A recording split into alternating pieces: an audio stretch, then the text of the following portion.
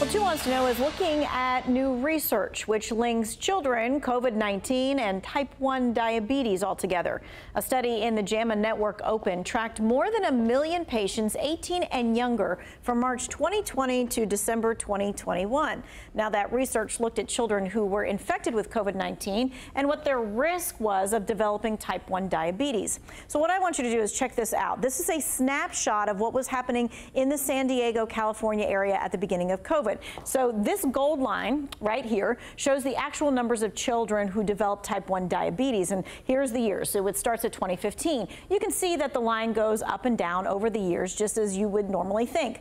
This black line here was the forecast projection for 2020 and 2021. Of course, no one knew COVID was coming or really what the impacts would be, so that gold line shot all the way up, a huge increase in children developing type 1 diabetes. Doctors and researchers started gathering other data.